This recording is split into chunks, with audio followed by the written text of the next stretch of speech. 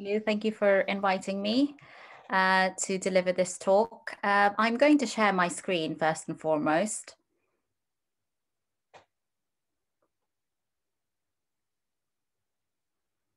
So if you'd bear with me a minute whilst I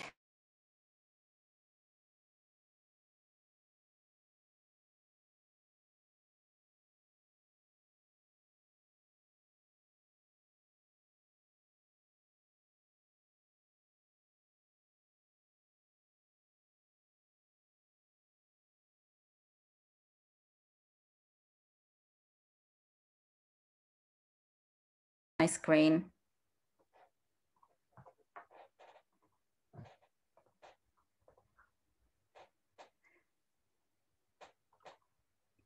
Can everyone see my screen okay? Yes. Perfect. Sorry, it's a bit confusing when you start sharing your screen. If you're not using double screens, then you can't see people. So there we go. Um, hi, everyone. My name is Ilaha, and I work as the youth tech lead for a charity called Refuge. Some of you may have heard of Refuge before. Uh, we run the domestic violence, gender based violence support services in Lewisham Borough, and Goldsmith comes under Lewisham. Uh, so I work for a specialist service called the Tech Abuse Service, which I'll talk about in a bit. But the first question that might come into your mind, the question that may have come into your mind when you signed up for this talk as to why, why am I using the term tech abuse? What is tech abuse? So tech abuse is gender-based violence that is perpetrated through or aided by the use of technology. It maps on the varying ways of domestic violence is perpetrated. Uh, so um, yeah, I'll, I'll explain in a bit as to how technology could be used to facilitate and aid gender-based violence.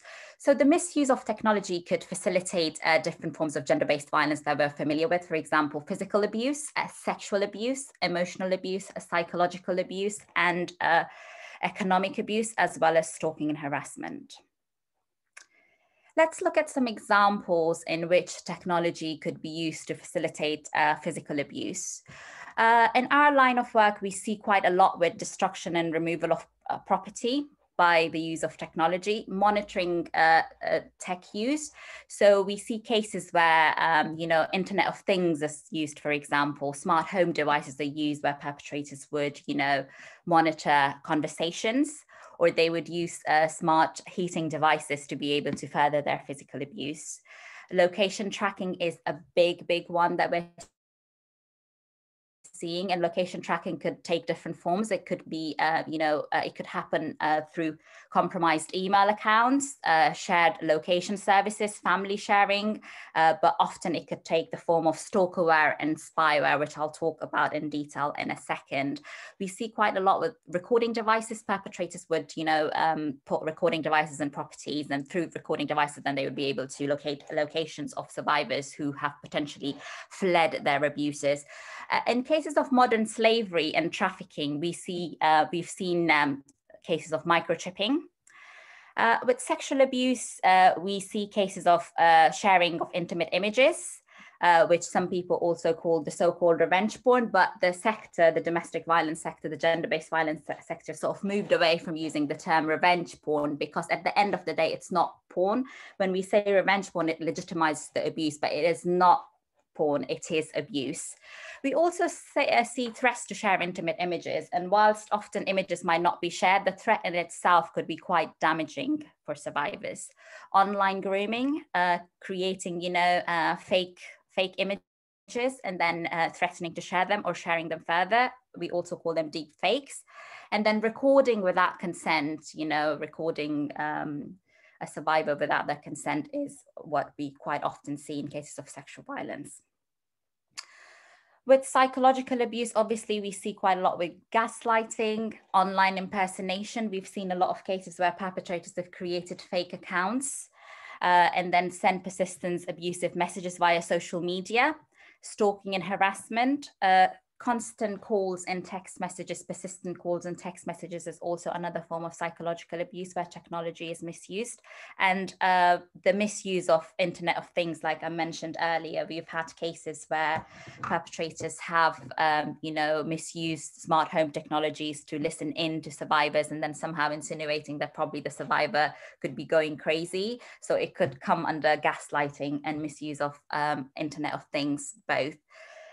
Uh, in terms of economic abuse, uh, we've seen a lot of cases where perpetrators have taken debt in client's name. It's a form of digital fraud. Uh, we've seen cases of controlling resources, um, you know, enforcing spending limits on accounts, and it's very much possible to be able to do that without, you know, uh, even if they don't have access to the account because technology has made it so easy for perpetrators to be able to further their abuse. So so we've seen a lot of cases where debt have been taken uh, into survivors name without their knowledge or they have used they've put caps onto their account so their spending limits could be controlled. And obviously online banking is as a lot of us are moving towards online banking towards a cashless society we see quite a lot um, quite a lot of cases where technology is being used to perpetrate economic abuse so how how it all began? Why did we think that there was there was a need for for a specialist tech abuse service? Um, as you can see, some some headlines that I've put here, some headline in news articles that shows how tech abuse is emerging. I would like to invite you to take a minute or two to read some of these.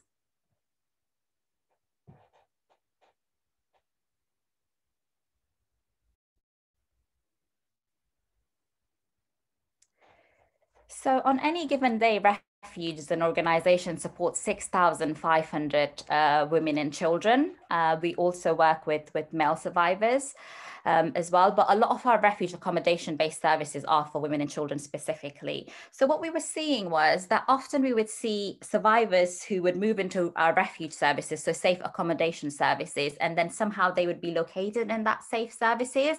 And the question that we were asking ourselves was why why is it happening? We have done everything. We've safety planned, you know, we've ensured that uh, all the devices are safe and secure. Then what what what is really going on here? How are these survivors being located?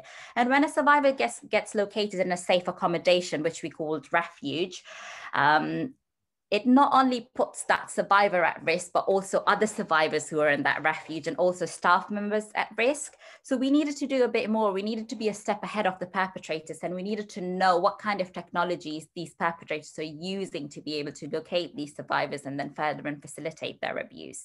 And that's why we decided to launch a specialist a tech abuse service. So in February uh, 2018, we were quite lucky that we were able to secure some funding from Google, the tampon tax and comic relief. And we started um, our service of six tech abuse leads and a manager. So I'm one of those tech abuse leads. I specifically work with young people, but within my team, we've got people who specialize in economic abuse. We've got people who specialize in working specifically with the BAME community. We've got people who specialize in working with the LGBTQ plus community. We've got people who specialize in working with people with disabilities so we are a very diverse team, a very diverse and intersectional team. Um, and we also have, a, have a, a, a, team manager. So we are a team of seven people. But alongside the seven of us, we've also recruited 105 tech champions. So these are our frontline workers um, who work internationally and provide frontline support to survivors of domestic and sexual violence. And they have been trained. They've received additional training from us on uh, identifying the signs of technology technology facilitated abuse. Uh, and they are basically the local experts within their own services and they provide, you know, uh, tech uh, tech abuse uh, risk assessment and safety planning. Locally, the team, uh, our team aims to cascade the specialist learning uh, to staff and the local local agencies. So we also work very closely with local services uh, in the boroughs that we work with. So I, I work specifically in Lewisham area, but from time to time nationally as well. So the aim is to be able to pass on the information to local agencies and people like yourself so you know how tech could be misused to further and facilitate gender-based violence. And we work very closely with, with our frontline workers who are case workers, independent domestic violence advisors, independent sexual violence advisors. Uh, so they so they're able to provide uh, provide you know appropriate support to survivors who've experienced tech facilitated abuse what are our key messages? So one of our main messages is to be one step ahead of the changes in technology as it's, it's constantly evolving. You're all young people, uni students, you probably know that how technology could be used to, you know, facilitate different forms of abuse. We as a team, we like to keep one step ahead of this abuse. So we do a lot of research. We constantly want to be in the know um, about the up and coming tech developments. Uh, so um, and then to be able to pass on this information to, to other agencies and other professionals is one of our, our aims. Empower survivors to use technology safely. And this is very, very important. We understand that depriving survivors of their technology is never a solution. And we've often seen when we've worked with other local agencies, police, for example, social services, the message often has been to get the, their technology away of survivors. The message has always been, so why don't you just give up your Facebook account? And if your perpetrator is using Facebook to abuse you, if you're receiving persistent messages or there is stalking and harassment happening, maybe you should just give up your social media accounts. And that's never, ever the message because a survivor could be using their technology to connect, to build a community. They could be using their technology if they live in a different, if their family live in a different country to connect with their family and friends. Uh, so taking their technology away from them could uh, compound their isolation even further. So it's very, very important that we're not telling survivors to give up on their technology just because tech is being used to abuse them. The key message is to empower them to be able to use their tech in a safe and positive way promote a learning culture and uh, that's that's absolutely important that is part of the reason why we're doing this talk um, the other important factor is avoid educating perpetrators now we know that there is a lot of advanced technology that could be used to to you know um, further uh, gender-based violence, but we're very careful when we do training sessions or we do a lot of work with the media, for example. Last year, we did a program with Victoria Derbyshire and we were talking about the support that we provide and some of some provided some case studies, some of our clients um, interviewed on the show, but we were very careful that we're not giving a lot because then this, the, this knowledge could be used and misused by perpetrators to further their abuse. We also lobby government and industry leads, and that's very important. Uh, we were involved in, in consultation for the online harm white paper. Can I ask if anyone has heard about the online harm white paper at all? So this is going to be a piece of legislation that hopefully if the bill passes, that would come into force, uh, hopefully in the next few years. Um, what that would mean is that the government would put more responsibility on tech companies uh, and there would be an allocated lead with every uh, tech company that would work really closely with the government and Ofcom to make sure that you know they're taking responsibility and they're uh, monitoring their platforms closely. So we're, we were, we were we were quite closely involved with the consultation with that, and hopefully if it, if if if this if the bill does pass, then it would it would it would really benefit our client group, and I think any anyone in general really. Uh, we were also recently involved in the consultation on the Communication Act uh, and the Malicious Communication Act. Um, we also work very, very closely with big tech giants like Facebook. So we're trusted partners with Facebook. What that means is that from time to time, if, if Facebook uh, or um, you know Instagram or uh, WhatsApp is being used to, to abuse a survivor, then we can directly uh, contact them and escalate that form of abuse. We've seen uh, we've, we've utilized that trusted partner uh, partnership quite a lot and we've, we've been able to take down accounts on Facebook, take take down um, sexually explicit images um, in the past. Uh, so it's it's it's a good platform that we we built with Facebook, Instagram, and WhatsApp. We are also trusted partners with YouTube uh, and Twitter, and most recently TikTok.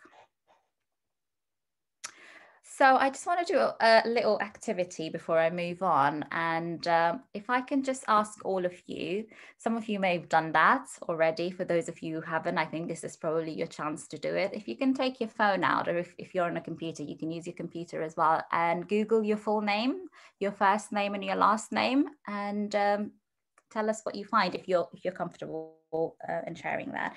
Because uh, sometimes when I do this activity with uh, with young people or survivors and I ask them to Google themselves, they find things that they didn't know existed. And I always advise people to Google themselves from time to time. So if you can maybe do that, take, take a minute or two to do that. And uh, if you want to share any of your findings with us, feel free to pop it in the chat feature.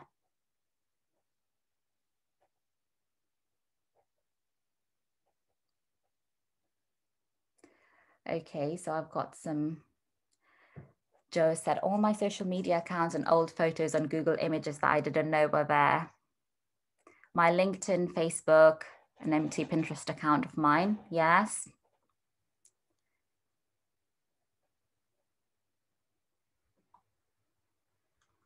Yeah, that's a good point, Joe. All just social media I have, Maya. Thank you for sharing that. A really old a newspaper article from when I was in secondary school, Lou. Thanks for sharing that.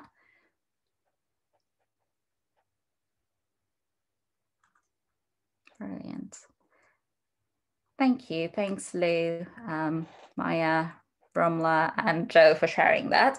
Um, so now I want you to maybe question yourself what the implication of this could be on a survivor, uh, someone who is fled from an abuser, and if uh, let's say, for example, a survivor who's fled from an abuser and they've moved into a safe accommodation, a refuge.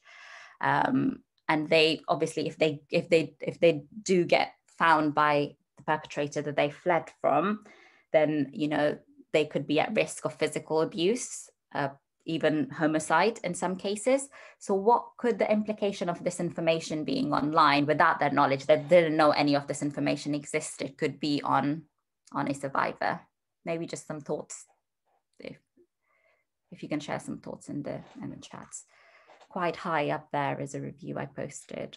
Mr. Beautician, it gives my location. Yes, thank you, Romla. Yeah. I hope I'm saying your name right. Feel free to correct me if I'm not. Yes, that's that's very that's that's absolutely the key location. Sometimes the things that are out there about you online could give away your location. And for a survivor who's fled an abuser, that could be, you know, that that is you know um, that could be very damaging that could be harming that could put them at risk of serious serious harm. I also would like you guys to do something else. Um, if you if you haven't if you haven't already uh, seen this whilst you google yourself maybe go on a website called 192.com and on 192.com type in your first name and your last name and see what you find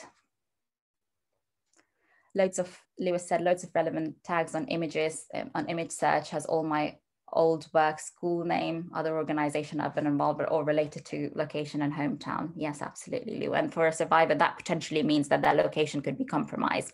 If, if it's a new location they've currently moved to, even if it's an old location that an abuser that is probably stalking them or harassing them, by having this information, they they would be able to um, they would be able to know where they potentially live, and it would be very easy for them to then track them further. 192.com, Maya, I've put in the chat as well.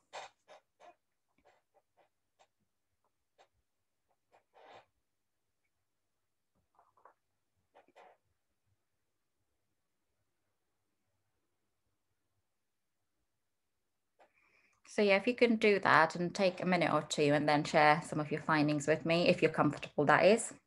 Mine came up with no results. That's that's great news, Romla.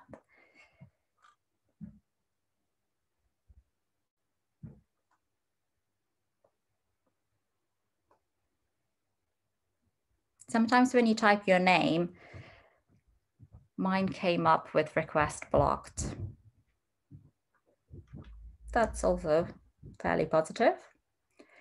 Uh, so 192.com is a website where um, if you have if you if you've registered to vote um, and you haven't put yourself on the anonymous register anonymous electoral register then it means that your address uh, your address at the time that you signed up to vote is for public consumption it means that it's public property so at any point um, people could actually look your name up on 192.com not your, your full address doesn't show up. Only only the the first the beginning of your address shows up. But people could essentially if you if, if people get a paid membership paid membership of 192.com then they could essentially sort of get the full information. And this is it's very very important to remember. So the, the work that we do with survivors we always always tell them when you're registering to vote you need to make sure that you put yourself on the anonymous register. And for those of you um, yes, my address, but with my postcode.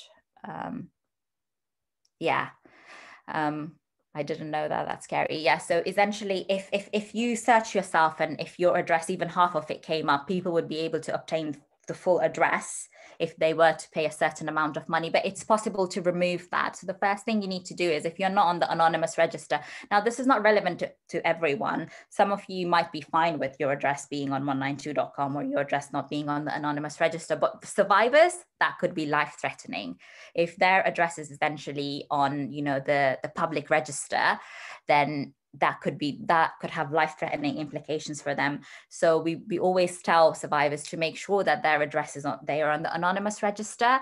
Uh, and if if anything on 192.com show up then they can they can call their council or the council at the time when they're registering uh, and request that they put them on the anonymous register.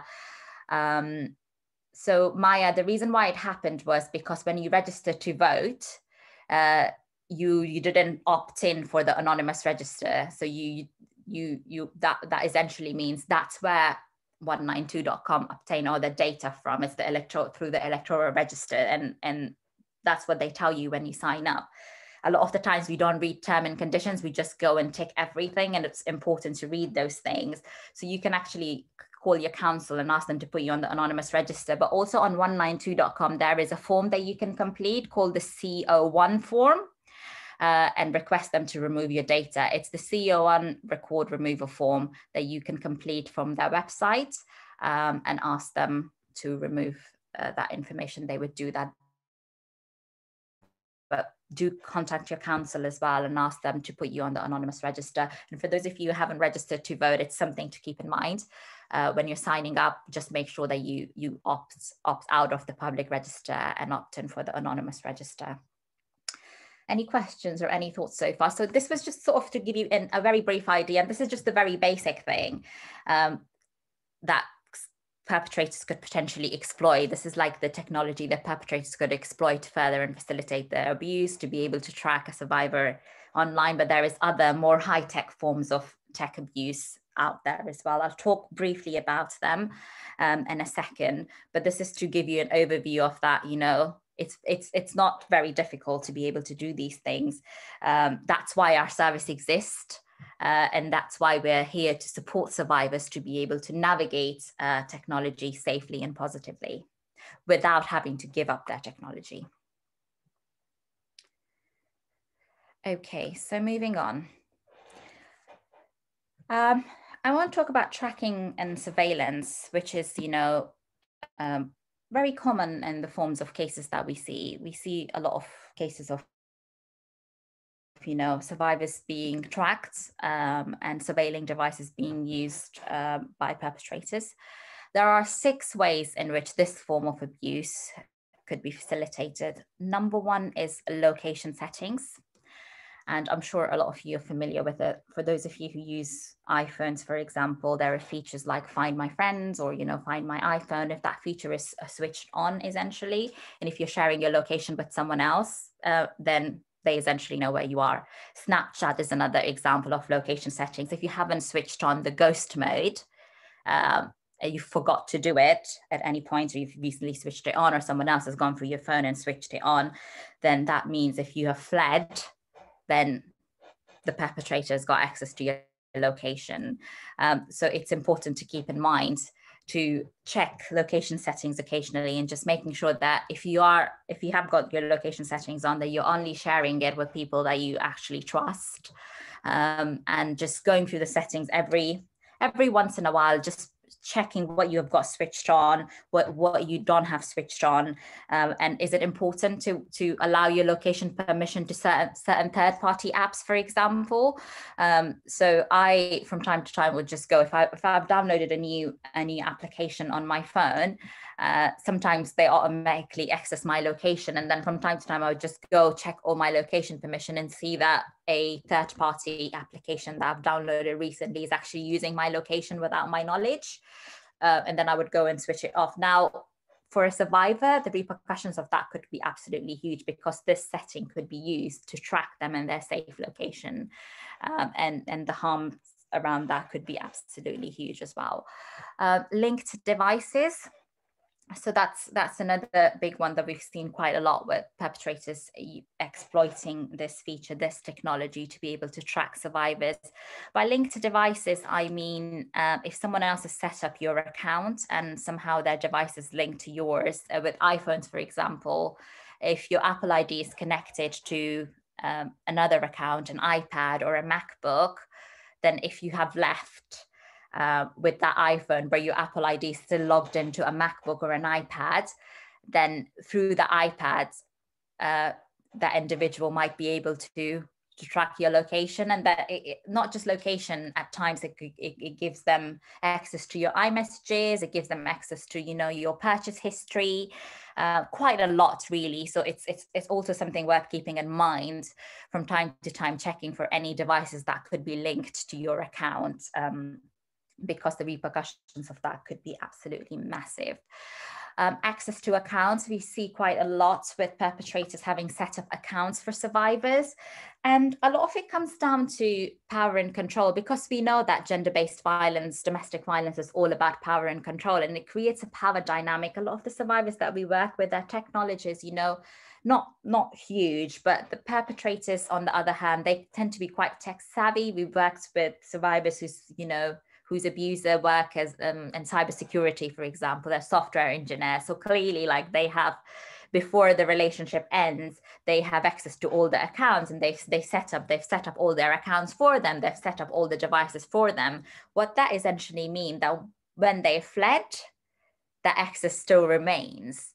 Uh, the, through those accounts that they've set up, now they'd be able to access quite a lot, not just be able to read the emails that survivor is sending, but be able to access their locations essentially, any messages that they have sent, their web search history, for example. So access to the account is another big one that we're seeing in our casework. Tracking applications. Um, so these bear in mind the tracking apps are very different to spyware and stalkerware. Uh, tracking apps are just third-party applications that you can people could download, um, and they kind of work like GPS GPS trackers. Uh, and even if some, uh, the inbuilt location services are off on a device, tracking applications could potentially give access to locations. Uh, the fifth one is spyware and stalkerware. Can I ask if anyone has ever heard of that term?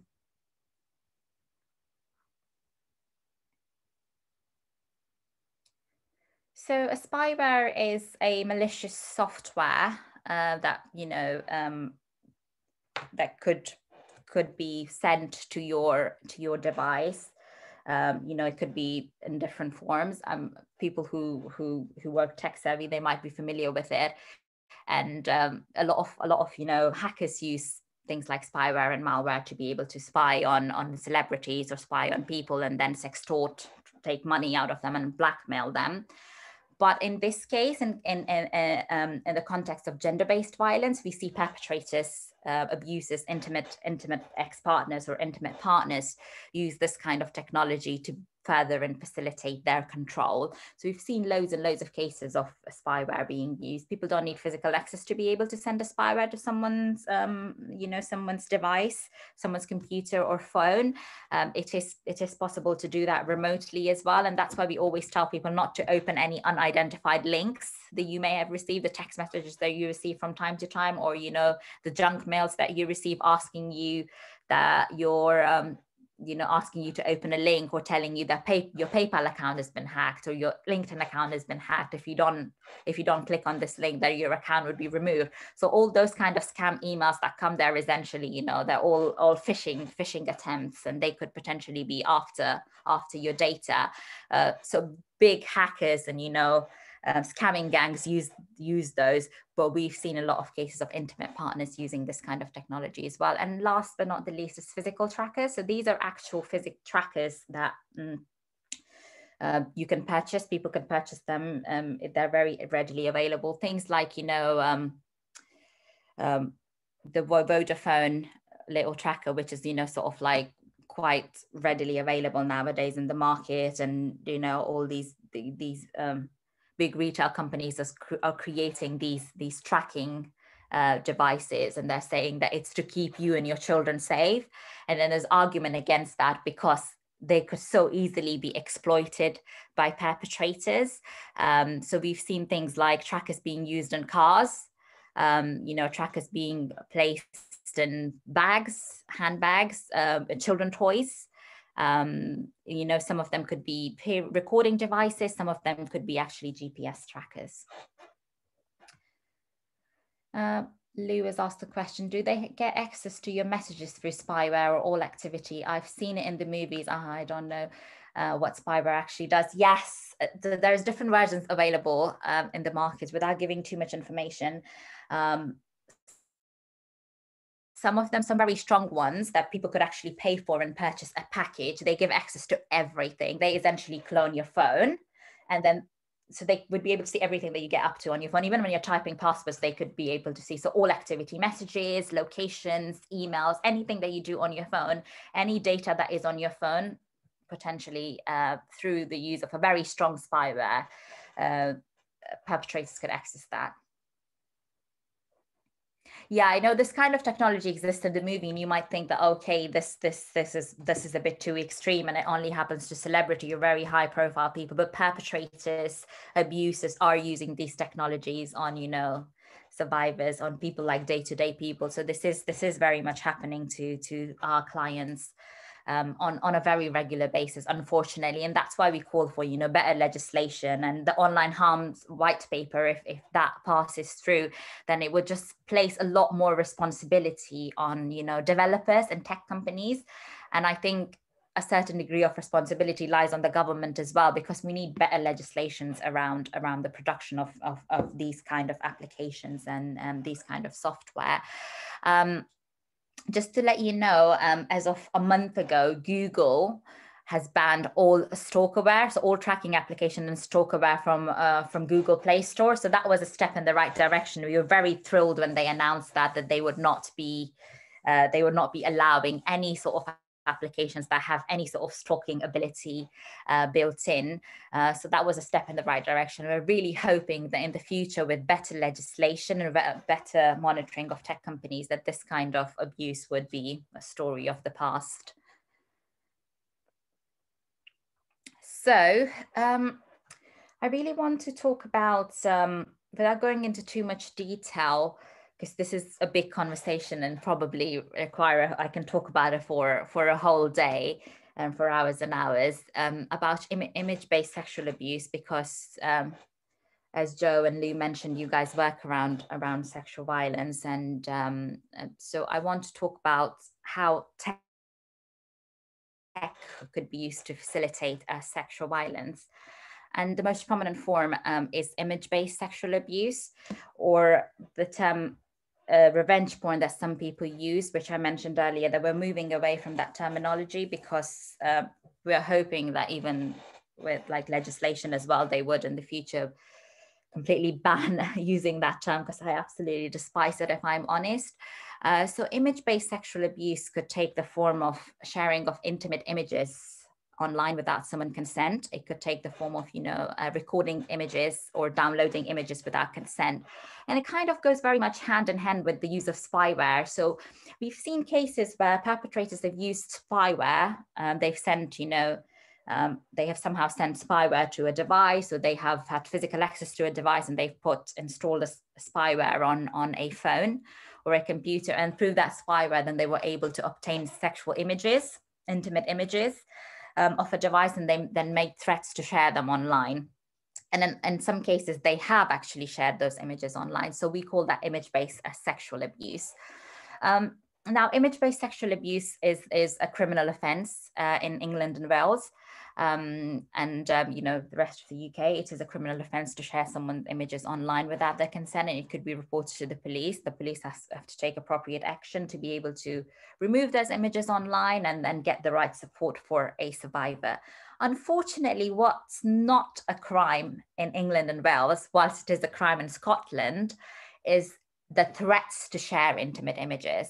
So if someone makes a threat to share intimate images online, that is not a criminal offense. Uh, we've seen cases where survivors have been threatened that their intimate images would be or videos would be shared online uh, and they've reported it to the police and then the police have sort of just turned around and said um, but come back to us when it's shared at this point we can't do anything about it because it is actually not a criminal offense in england and wales so in order to address that um, but currently as an organization we're lobbying the government to criminalize the threats to share. Uh, so through frontline work the work that our team was doing we actually noticed that there is this big gap in the law and we needed to do something about it. So we got together with our policy team and we launched a campaign called the naked threat campaign. If you want to read more about it, I would highly encourage to check our website. We've launched a whole report because we produced a survey and we surveyed quite a few um, young people um, around, you know, if they've ever been threat, uh, threatened share, um, for their intimate images to be shared online. Uh, so there's there is a lot of finding from from the survey, um, which which due to time limitation I can't share all of it with you. So I would encourage if you have time, go on our website refuge.org.uk. You can read the full report um, and the results from the survey that we launched. And if you have a minute, you can also write to your local MP uh, about this campaign and ask them to criminalize threats to share intimate images because it would it would make a huge huge difference to survivors if this was to be criminalized. There is when threats are made there's ways around that. We would always advocate for um, you know for survivors on their behalf to make sure that they have the right support in place. And if they've reported to the police that law enforcement support them with sort of ways around. We look at things like blackmail, for example, malicious communication. I'll talk about tech and the law in a second, uh, but that it should be a crime on its own and and it is a big gap. So if you have if you have a moment then please do have a look at this campaign and write to your M- mp um, as well. It would it would make a huge huge difference in, in lives of survivors uh, that we work with. Does anyone have any questions so far Okay, I'm moving on. So what are some of the signs of tech abuse? If any of uh, this kind of abuse is happening to you or, you know, a, a, friend or anyone that you happen to know or a survivor, what should they look out for? And we, we mentioned um, about stalkerware and spyware. Um, and it's difficult to tell if there is a spyware on someone's device because it disguises itself uh, it hides behind different apps and it's difficult to be able to track it. Uh, but there are some signs that you can essentially look out for um, to know if, if, if uh, this kind of abuse uh, could be happening um, or your device could be compromised in any way, shape, or form. The first one is um, obviously someone knowing something they shouldn't. So if people know um, information that you've sent via text messages, to a friend or a family member, but there was no way of them knowing other than them having physical access to your phone, to your text messages, or listening into your conversations, then this is obviously a sign that there could be something more malicious going on. Maybe, maybe they're using technology, maybe they're misusing technology to get the information. The other sign, and this is a big one for spyware and stalkerware on a device as well, is the phone glitching, overheating, and excessive ba- battery dra- drainage. And I know that uh, a lot of the new phones, my iPhone, for example, it drains every after three hours, the ba- battery would be completely drained. Um, so I'm talking about excessive battery drainage. If there is a spyware on a device, uh, it means that the battery usually runs out within 30 minutes or an hour. If that that is happening, that then I would be just looking at something sort of a bit more malicious. Um, also overheating. Um, and data running out quickly as well. So data and battery running out quicker than before is a big sign of spyware um, on, on a device because bear in mind that it's running at the background without your knowledge and it's getting all the data. It needs internet to be able to function. It needs data and it needs battery to be able to function. So it drains a lot of battery and sometimes the phone could get overheated and there could be glitching on the phone. If you're on the phone with someone and you're just hearing noises in the background or there's like glitching on the phone, then this is a big sign of something more malicious happening on the phone.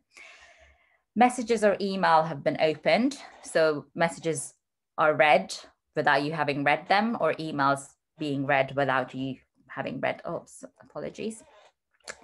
And then being told you're being monitored. And uh, yeah, that happens actually quite a lot. Some, some of the survivors that we work with, their perpetrators tend to be, you know, take a lot of pride in being tech savvy. So they would actually disclose that information and say you know what? I, I know i know what you're doing. You can't you can't get away from me. No matter where you go i'll find you. So that could be you know an indication for us that maybe maybe he would he intends to use technology in the future or he could be using technology. Or and then any previous history of tech misuse. So stalking um, via technology, harassment via technology in the past could be an indication that it could it could essentially happen in the future as well. Things like, you know, asking for passwords, sharing password, that's not normal behavior. Yeah, that is controlling behavior. Um, asking uh, to see text messages, Facebook messages, having access to a partner's social media account, that is not very healthy behavior. So that could that essentially is an indication of, of uh, tech abuse. Does anyone have any, any questions at all so far?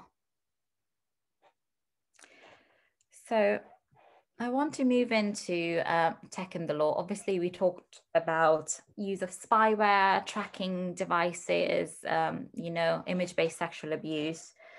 Um, and when we do this talk or when we deliver training around tech abuse, one of the main questions that always, always pop is, um, is this is this legal? How could this be happening? How could people be exploiting technology to just to this extent? What is what could what is the repercussions of that? So what does the law say? Um, as much as there is a gap in the law, as I mentioned earlier, the fact that the threats to share intimate images is not um, an offense, and there is some other gaps in the law, which I'm hoping in the next few years would be addressed. There is actually some legislation that criminalizes a tech facilitated abuse. So first and foremost is the section 33 of the Criminal Justice and Courts Act. Uh, this is disclosing private and sexual images and photos with the intent to cause distress. Now, this is also, has some people call the Revenge Porn Act. Uh, um, so it is a criminal offense to share someone's images without their consent. And if it is reported to the police and they don't do anything about it, they must. The law says that you have to take action. Um, the section 127 of the Malicious Communication Act of 2003. So what that means is if, if um, persistent text messages, abusive text messages, or messages via social media under the Communication Act of 2003 is a criminal offense.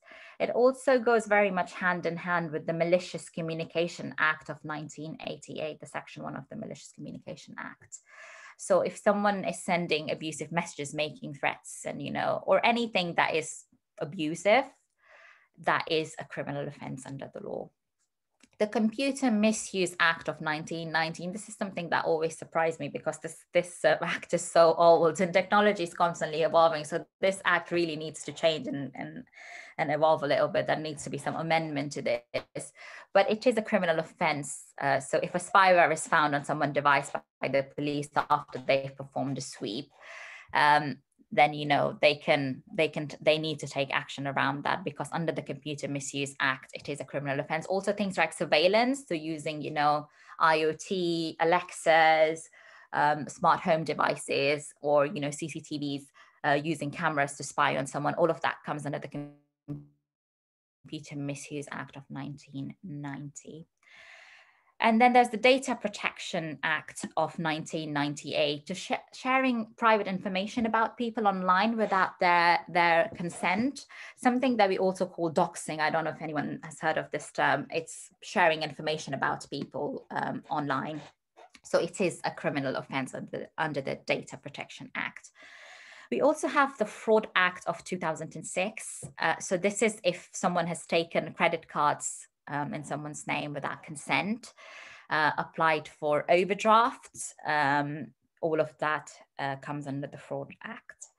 Protection from Harassment Act, um, and that goes hand in hand with the threats to kill offences against a person. Uh, so if threats to harm or kill are made, uh, uh, if threats to harm are made, it will come under the Protection from Harassment Act, which also has the um, amendment of the stalking. So stalking also comes under the Harassment Protection from Harassment Act.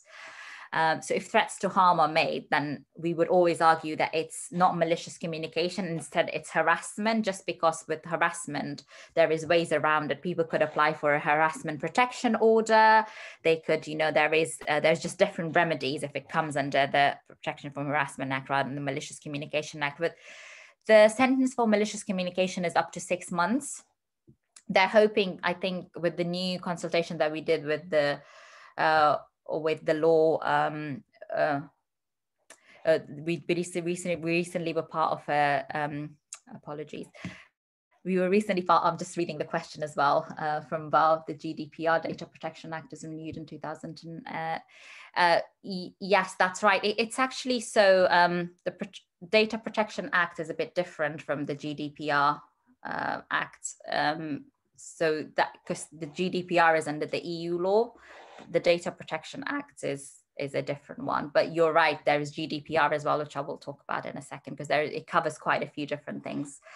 Um, so where was I? I was talking about uh, Protection from Harassment Act that we would always argue uh, if a threats to harm are made that it's um, it's actually harassment rather than malicious communication because with malicious communication um, the sentence is only six months. They were they're hoping to amend it to two years uh, and making the sentence a bit stricter. There is usually a penalty and six month sentence at this point, but with with harassment, there's also six month sentence up to it could it could be extended up to nine months.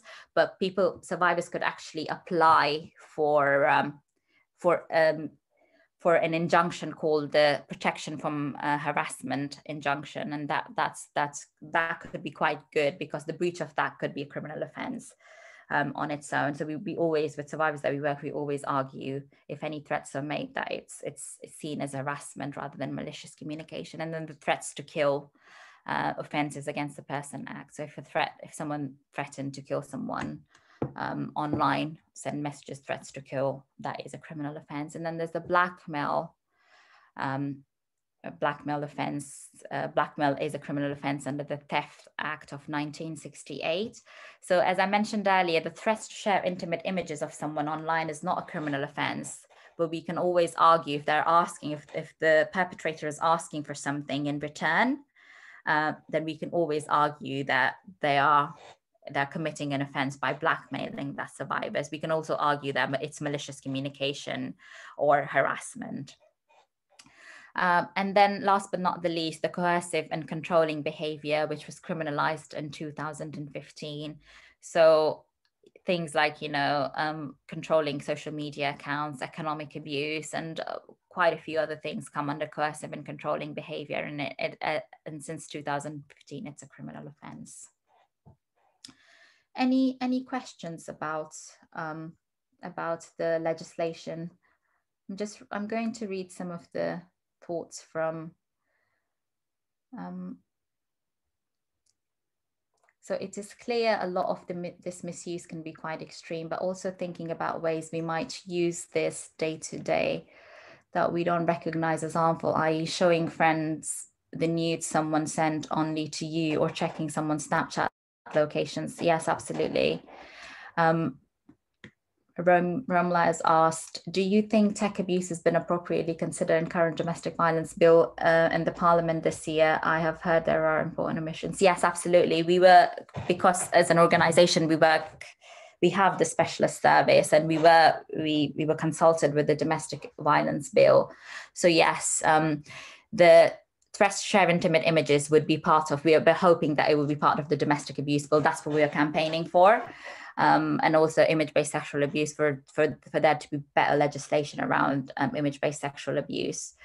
Um, what's the main pushback you get for legal change? Um, well, I can't really answer that. That's probably just a question best suited for our policy team. But I think one of the main things that I've heard from our policy team is that um, um, that there is other law around it. They say, oh, but we have the Malicious Communication Act, for example. We have blackmail, and then maybe maybe maybe could go on coercive and controlling behavior. But if there is not an actual legislation then it's difficult for us when we go to the police and advocate on survivors' behalf for us to, to get a positive response.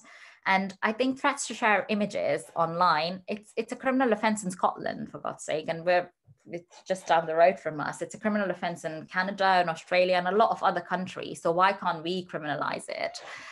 Um, so yeah, that's that's one of the main things that we hear quite a lot that there is, but there is other legislation. Why don't you just argue that? unless there are firm legislation, it's difficult to get an outcome from law enforcement. It's like coercive and controlling behavior before it was criminalized in 2015. And I've been working in this sector since 2015.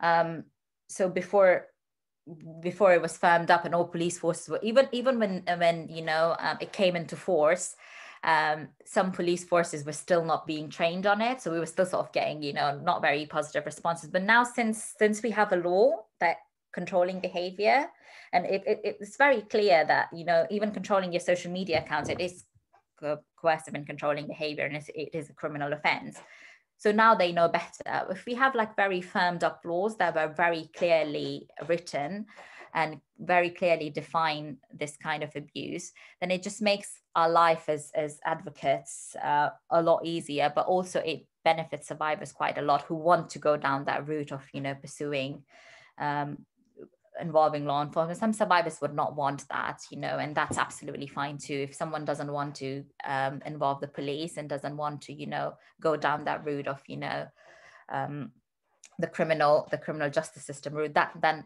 that's absolutely fine too we have other ways in which we can support survivors and that's where um, the question of the GD, gdpr comes in um, G, um, you know um, so with GDPR has made our life a lot easier as well um, because with GDPR the right to be forgotten um, is quite useful for us because sometimes if there is any content about survivors online and it's out there on a website there's articles about them, for example, then we can use the right to be forgotten um, guidelines and just email them and ask them this survivor just wants all their data to be removed off the internet because they want to. This is their decision at this point and it could potentially harm them. And then, then we have had a case where we were able to remove a survivor's information from a newspaper article um, it wasn't in public interest. The only the only um, the only response, the, the, only way in which they would not remove the information is if it's in public interest. So if there is a perpetrator and their information is online, then they would not remove it because they would say it's in public interest for this information to be out there. But anything about a survivor that is online and then they don't want it out there,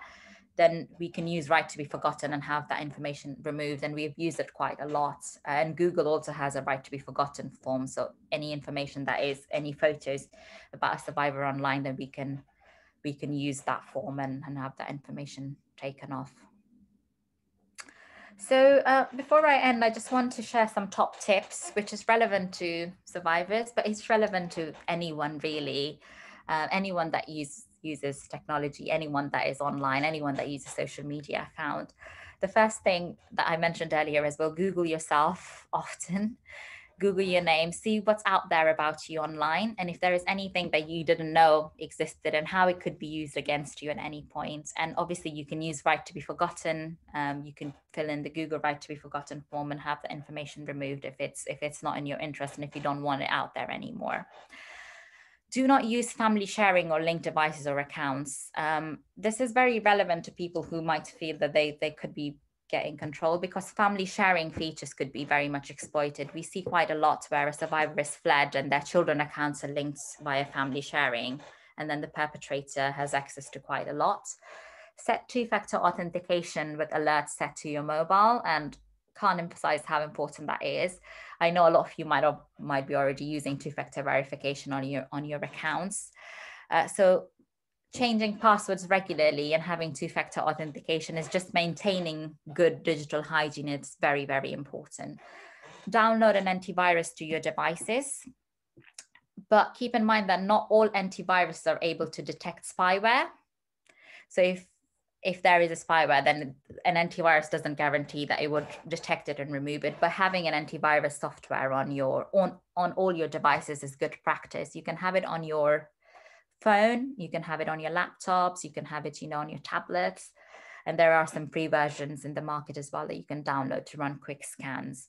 Check the settings within your home devices. So check settings within uh, smart home technology. So for example, Alexa's, Nest, a smart a ring doorbell if you're using any of those check the settings see who has got access to them see what you're sharing if someone else is using the same account as you. Regularly update your device. Updating software is very very key because every time you update your software they release new security features and change your wi-fi password regularly I can't emphasize on this enough because Wi-Fi, your Wi-Fi network could actually be hacked into. If you haven't changed your Wi-Fi code, so when wi when you first get your router and they come with the code, the generic code, those codes actually get rotated occasionally. So a lot of network providers, they use similar digits, but they rotate them. So for someone who's tech savvy, it's not very hard for them to guess what your Wi-Fi code is. And once, and to, once they're into your Wi-Fi network, through the Wi-Fi network, they can hack into your devices. So change your Wi-Fi code often, uh, or at least once. Uh, and also your admin settings, so your Wi-Fi hub setting, changing password to those as well is, is incredibly crucial. For more information, you can find loads of resources on our website. We've got um, resources on tech abuse and tech safety resources. We've got guides and tips for survivors and also professionals. So feel free to have a look at that. And last but not the least, we have a chatbot on our website, which has been translated into uh, these three languages, Urdu, Polish, and Spanish. Uh, it's got step-by-step tutorials, which could be very helpful for survivors, but also just anyone. It just tells you how to change your settings, your password setting, two-factor authentication, um, or it, it's very easy step-by-step -step guides that anyone could follow. Um, so yeah, check it out when you have a minute. And that's it for me. Thank you for joining. Um, we have some minute to take a few minutes to take questions now, isn't it? We have about five minutes. So if you have any questions, feel free to ask them.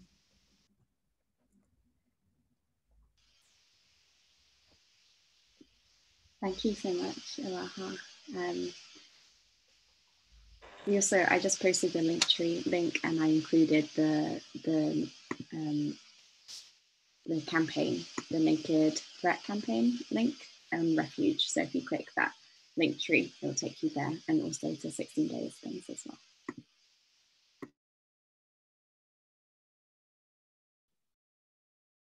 Thank you so much, Laha. That's so interesting. Um, Thank you. Like and um, yeah, if anyone has any questions, I can pop my um, I can pop down my email. So feel free to ask me. It was very brief. Um, I when we arranged this talk, I was talking to Joe about how long this should be because we deliver. We can talk all day about this topic, and you know, it's it's a broad one, and there's still unfortunately a gap in the law and in the knowledge when it comes to this specific form of abuse. Um, so if anyone has any questions or wants to know more, wants to get involved in our campaigns and our work, feel free to drop me an email.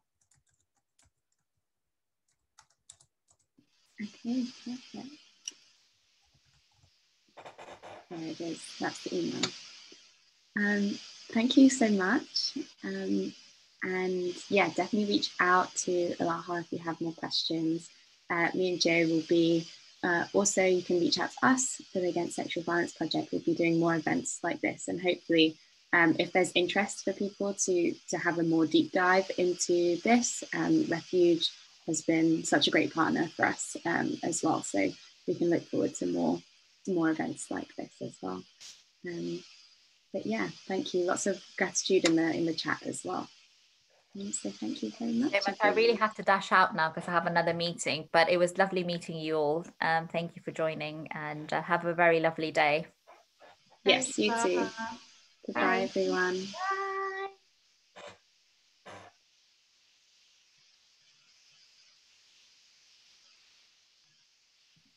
Hi, Lou. Yeah, I would like to get involved. Yeah, yeah, it's great to have you. Yeah, I'm sorry I was so late. So I just had something to happen at home today.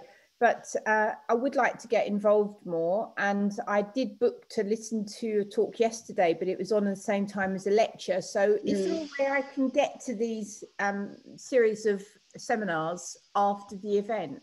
Yeah, so we are actually, let me just stop uh, recording this one.